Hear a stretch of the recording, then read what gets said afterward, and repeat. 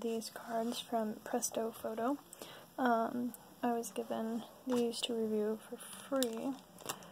So they were supposed to come with a stationery box, but that did not come. Um, but I do love it. I chose my own photo and my own text. The only downfall is I did have it where I wanted it to be an open up card where this was the front and this was the back and it was blank inside. Um, so either I missed the read the directions or they did, but either way it still turned out really nice. I added a quote. It comes with a pack of these plus 10 envelopes and like I said it was supposed to come with a box but I'm not too worried about the box.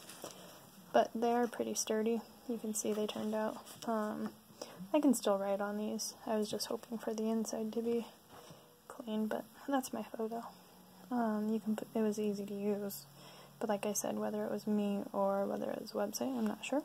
But either way, I do recommend them because it is very lovely. So check out the rest of my review on my blog.